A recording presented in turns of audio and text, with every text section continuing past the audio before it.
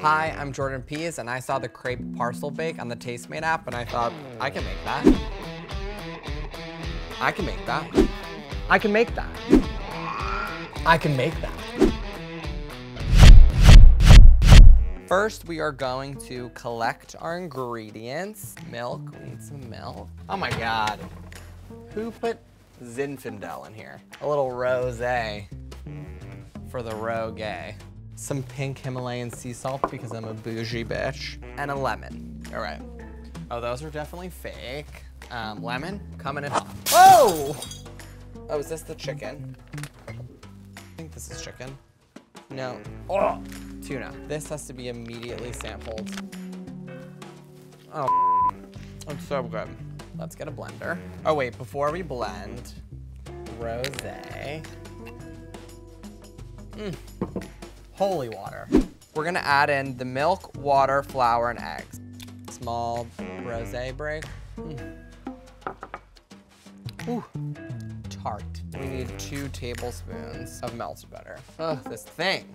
I feel like it's gonna drive itself off the counter at any moment. okay, so we're also gonna do our one cup of all-purpose flour. Whose grandma gave these to us?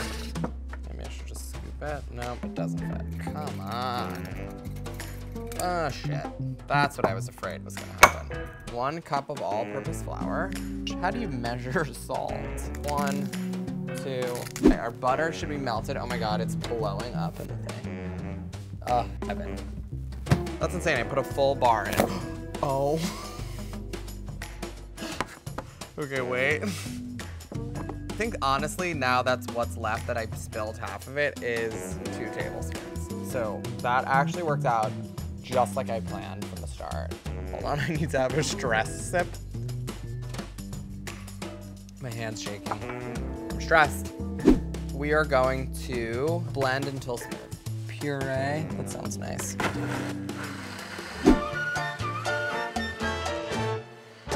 Step two, I will be making my bechamel sauce. Is it bechamel? I feel like it's probably bechamel. Fun fact while I make the butter, if you put rosé in the freezer, you could have some frosé. Now we're going to stir in the flour and cook more flour. You're right, fine, more flour. Stir the flour until it cooks out, like until it disappears. Milk, salt, pepper, and nutmeg. The stuff that smells like Christmas. You crack it? Nope. No. Oh.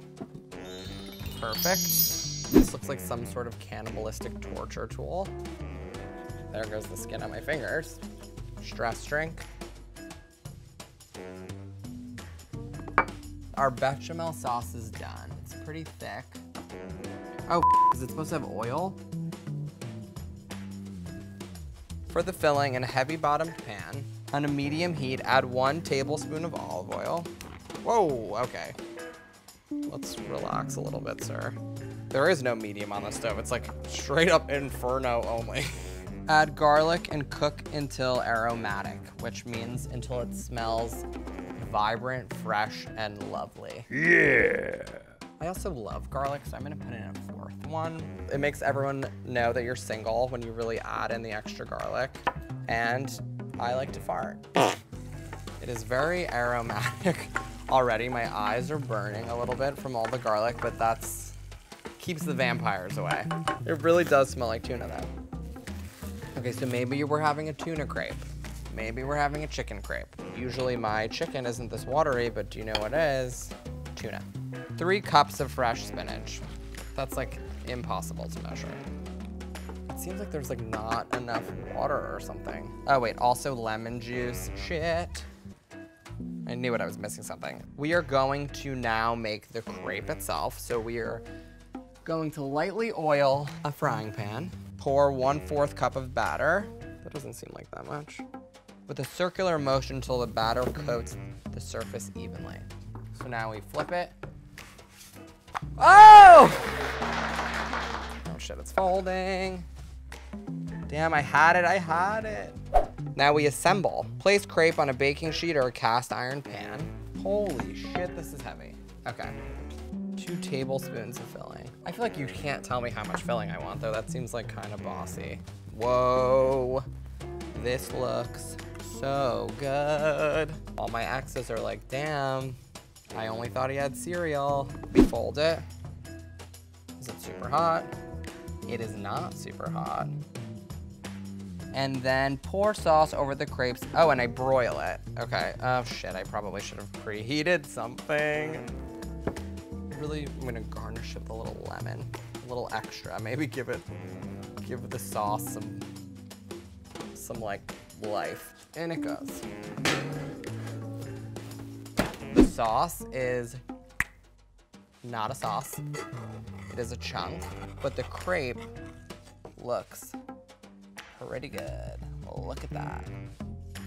Yum. This is really a try at your own risk sort of situation. Um, actually, it's kind of saucy. Let's try this five star crepe. I really hope it's chicken. Judges.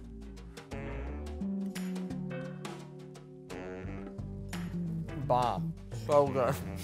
Honestly, the crepe has enough flavor alone. It does not need the sauce. But the sauce, as chunky as it is, I would like to say is also pretty good.